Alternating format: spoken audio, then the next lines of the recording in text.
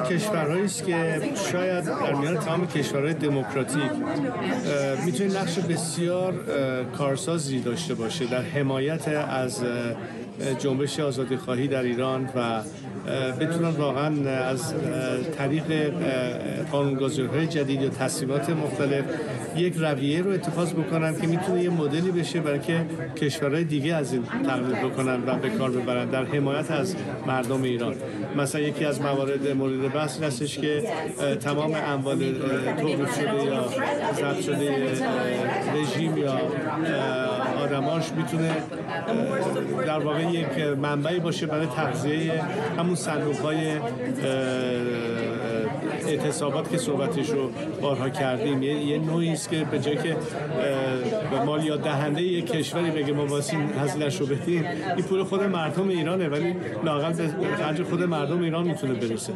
مقصودم این که این صحبت های گفتگوها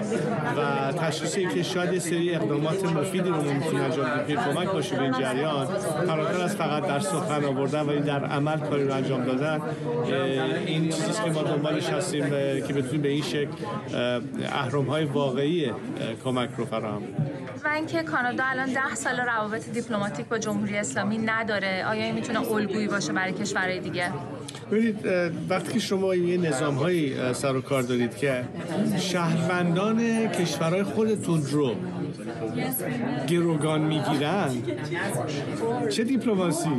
چه رابطه ای بنابراین شما می‌تونید به عنوان یک علامت قوی یک نوع تنبیه کردن این رفتار نمیگم به کلی قطع ارتباط بکنید ولی حداقل می‌تونید به لول. بعضی دولت ها جرأت بیشتری از خودشون نشون میدن و این نشونه این هستش که تحت این شرایط ما حرفی نداریم دیگه به شما بزنیم. و شاید هم این بتونه در جاهایی که یه مقدار در بعضی کشورها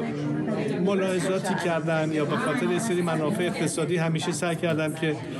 قضیه رو به اون شکلی باید و شاید یعنی که انتظار ماها بوده از نکنن شاید این هم یک نوع علامتی باشه که دنیا می‌تونه خیلی قوی تر از این عمل بکنه به خصوص در ارتباطات دیپلماتیک